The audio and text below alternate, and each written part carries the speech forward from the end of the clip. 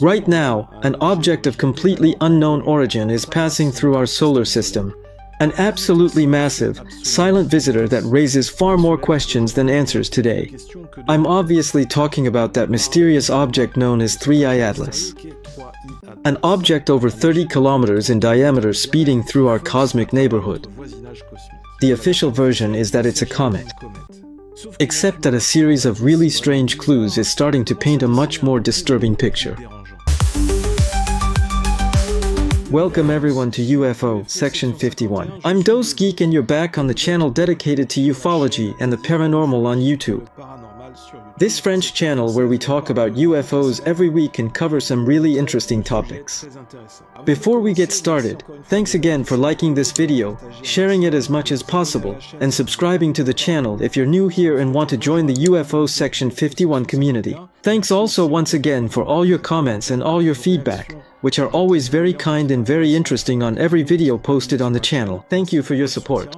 I know, I repeat myself a lot, but all these little technical things like likes, shares, all that, are really important to help boost the channel's visibility on YouTube. Because the YouTube algorithm, or the YouTube bot, call it whatever you want, is very fickle and also really hungry for all those little actions that help push the video to the top of the list in terms of ranking on the platform. Every little action is always very useful and also very much appreciated. Just imagine for a moment, what if an answer, a reply to a message sent to the stars almost 50 years ago, had just arrived at our doorstep? That's kind of the wild scenario we're going to explore today as we take a look, or rather, take another look, at 3I Atlas.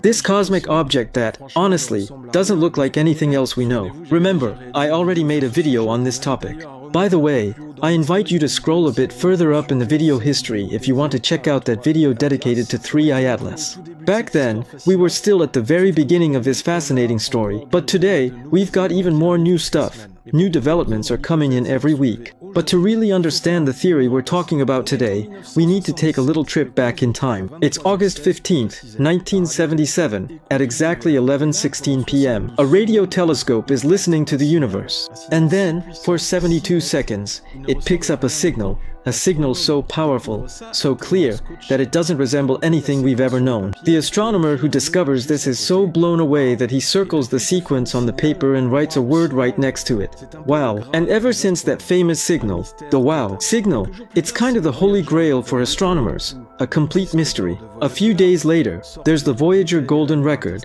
a kind of interstellar message in a bottle, which is sent into space aboard the Voyager 1 and Voyager 2 probes in August and September 1977. The project, overseen by Carl Sagan, was essentially a message from humanity to potential extraterrestrial civilizations, containing, among other things, sounds and music from Earth, greetings in 55 languages, images representing human life and culture, as well as coordinates to help locate our planet in the universe. I don't know if, in hindsight, that will turn out to have been a good idea. Time will tell. After that, nothing more. Radio silence for almost half a century. But now, a cosmic visitor is on its way. And the crazy thing is, it's coming from exactly the same area in the universe where the WOW signal originated. So, the questions are, is this just an absolutely incredible coincidence? Or is this the answer to the WOW signal? Or maybe even a response to the Voyager Golden Record, assuming the Voyager probes managed to send their message that far into space. So just imagine a reply that took 50 years to cross space to reach us. This visitor has a name, of course, 3i Atlas. 3i because it's the third one. This detail is super important because it means it's the third interstellar object. Basically, it's only the third object we've been able to confirm is coming from another star system and entering our own solar system. First, we had Oumuamua in 2017, then Borisov in 2019. But get ready, because 3i Atlas is shaping up to be even weirder. And this is where things get really, really fascinating. Because 3i Atlas isn't coming from just anywhere. No, its trajectory points straight toward the constellation Sagittarius, the same part of the sky where the WOW signal came from in 1977. Fascinating. Fascinating. It's such a huge coincidence, so unlikely, that we really have to wonder about it. Hold on, because this trajectory coincidence is just the beginning of the weirdness. The more scientists point their telescopes at 3i slash Atlas, the less the simplest explanation that it's just a weird comet seems to hold up. In fact, the strange clues just keep piling up. First of all, there's its size. We're talking about a minimum mass of 33 billion tons. And that's just colossal. To give you an idea, that's at least 100,000 times more massive than the two other interstellar visitors we've seen before, Oumuamua and Borisov. It's a true cosmic monster. And that creates a huge problem for scientists. They call it the size paradox. In fact, according to all the simulations, we should have seen thousands, even tens of thousands, of small interstellar rocks before coming across a giant like this. It's a bit like going fishing for the first time and catching a blue whale before even seeing a single little minnow. Statistically, it's really, really strange. September 2024, the James Webb Space Telescope detected a huge object some 10 light years from Earth, and we're on its trajectory. What if our past held the key to our future? For millennia, ancient tales have spoken of the Anunnaki, mysterious beings who shaped humanity before disappearing. An unknown object, regularly changing trajectory and seemingly heading inexorably towards Earth, and some believe it heralds their return. Are they the Anunnaki, or a completely different extraterrestrial race? Will they come as enlightened guides or ruthless conquerors? Through a fascinating analysis blending mythology, science, and ufology. This book explores the possible scenarios of an imminent contact that could turn our destiny upside down. Are you ready for first contact? Then, there's its trajectory, which is just as unlikely. Normally, a visitor from another solar system would arrive pretty much at random, not necessarily aligned with the same plane as our planets. But not this one. 3i Atlas arrives exactly in the same plane as the planets in our solar system. That's what we call the ecliptic plane. It's kind of like the orbital highway of the solar system. To sum up, its trajectory is strangely perfectly aligned with the planets of our solar system, as if it planned to visit certain planets in our solar system one after another.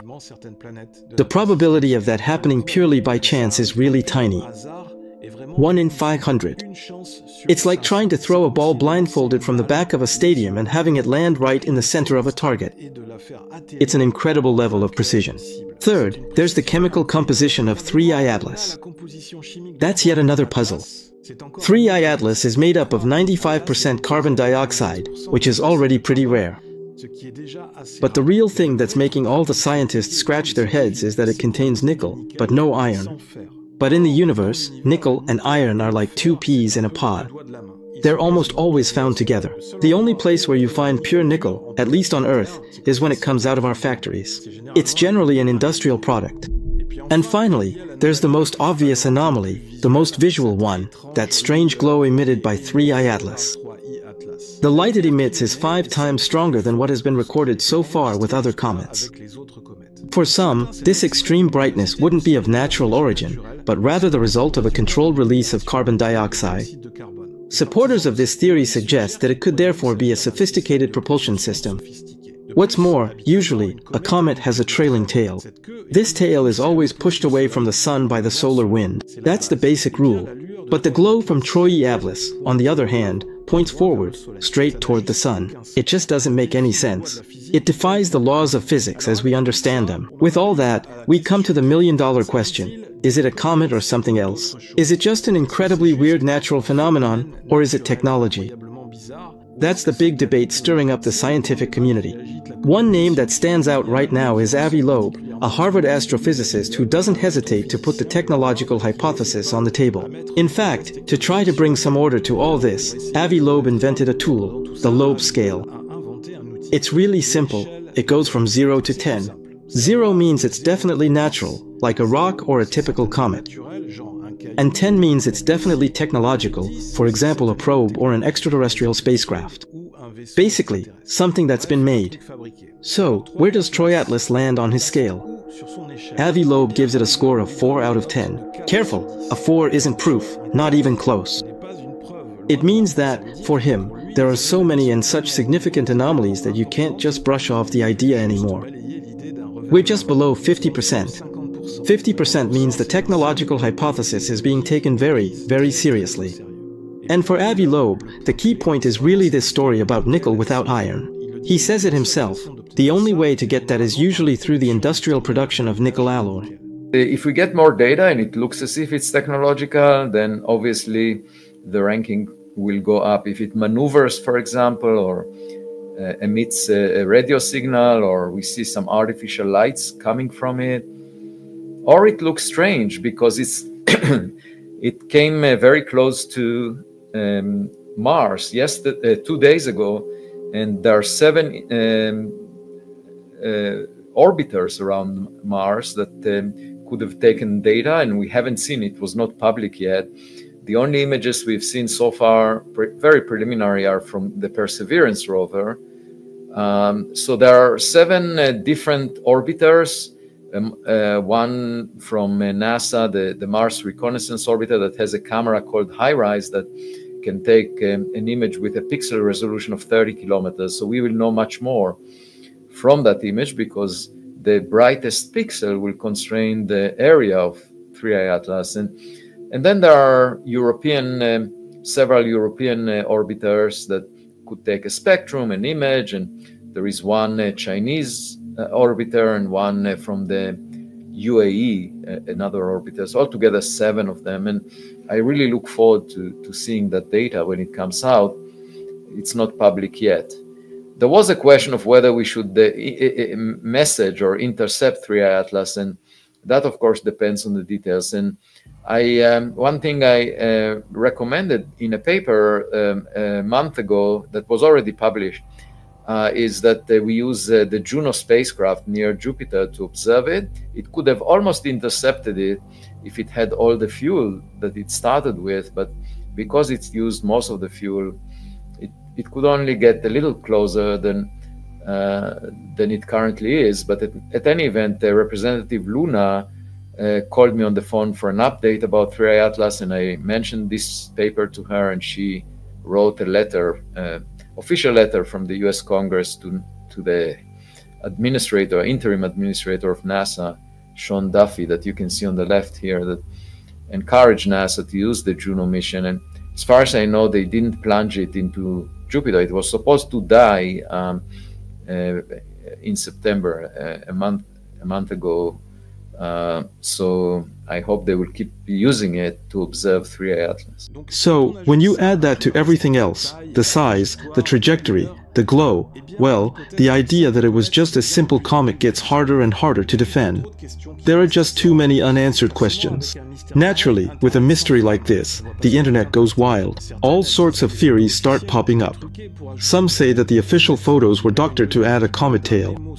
There's even a rumor about a secret NASA memo that supposedly leaked, describing the object making course corrections. Another persistent rumor claims that a live NASA video feed was suddenly cut off. Witnesses claim that during the live feed, just before it was cut, they saw something that was anything but natural, specifically, a perfectly straight edge on the object with an almost metallic outline. Since then, the recording of that live broadcast has, conveniently enough, disappeared. Other theories, and let me be clear, these are absolutely unproven, draw a connection between these interstellar visitors and cave paintings that are several thousand years old. These ancient drawings supposedly depict Oumuamua and 3i Atlas in a very strange and precise way. But who's to say these aren't just AI-generated photos? Let's be clear, for now, all of this is just rumors. Nothing has been verified, but it shows just how fascinating this topic is. Yet, the scientific recordings we mentioned suggest something supernatural. Fortunately, we're not going to stay in the dark and keep speculating forever. The scientific investigation is ongoing and, more importantly, we're approaching key dates, crucial moments when we'll be able to get much more precise data to finally try to understand. Make sure to note these dates. October 2025 is going to be the moment of truth. The object will pass close to Mars, and that's when the orbiting probes will be able to take ultra-high resolution photos. Right after that, at the end of October, it will skim past the Sun. That's the perihelion. the heat will be extreme. If it's a comet, it could break apart. On the other hand, if it's something else, it won't break up. We'll then see how the object reacts. And then, there will be one last chance in March 2026, when it should pass near Jupiter. There's just one little snag that complicates things a bit, earthly politics. Yes, in fact, the infamous US government shutdown falls right during this crucial observation window, around March 2026. As a result, there's a lot of uncertainty about NASA's ability to collect all the data. An unfortunate coincidence, or maybe just a little too convenient an excuse to limit access to the data. Who knows? Only time will tell, maybe. But fortunately, NASA isn't the only one working on this project. In fact, the European Space Agency is also on the case and shouldn't take its eyes off the object. In the end, we're left with a fundamental question. Is 3I Atlas just a cosmic coincidence? An absolutely monumental one? Are we dealing with some kind of natural strangeness jackpot? Or is it something else? Maybe a deliberate response, an extraterrestrial artifact sent 50 years ago that's finally arriving at its destination.